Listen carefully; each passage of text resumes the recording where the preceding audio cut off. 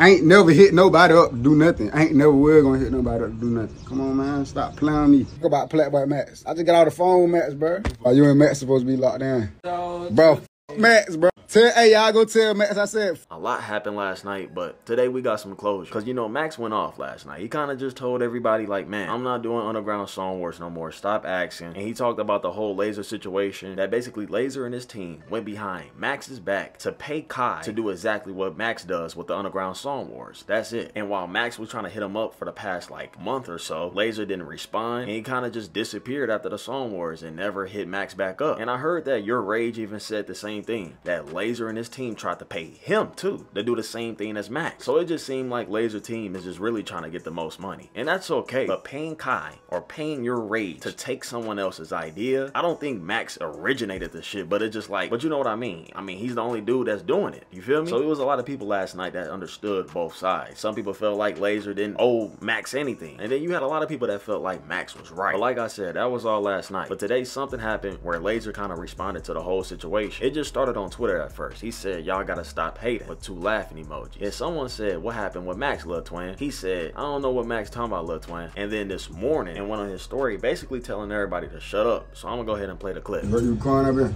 I don't know what the hell I got going on. Hold on. You crying up here? Yeah.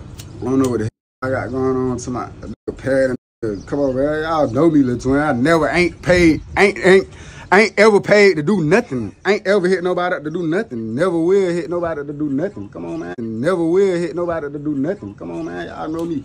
Get out my DM with all that crying, that crybaby, bro. To my, you know what I'm saying? To my hit it up. I ain't never hit nobody up to do nothing. I ain't never will gonna hit nobody up to do nothing. Come on, man. Stop playing me. Talk about Plaqueboymax. I just got off the phone with Max, bro. Are you and Max supposed to be locked down? Bro, Max, bro. Tell, hey, y'all go tell Max I said, Max. Max Pack.